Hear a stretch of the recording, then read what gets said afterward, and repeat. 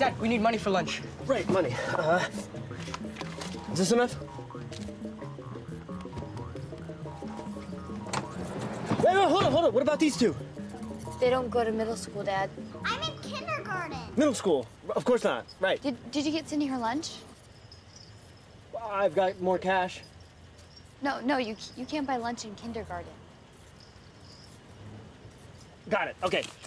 Dad's on the case. B is for be nice. D Did you see Mom last night? I, I don't know, Cindy. I, I didn't see her last night, no, because I got in late, okay? It's okay. It's okay. No, no, you're gonna be fine. Cindy, hi. Look at this outfit. This is so cute.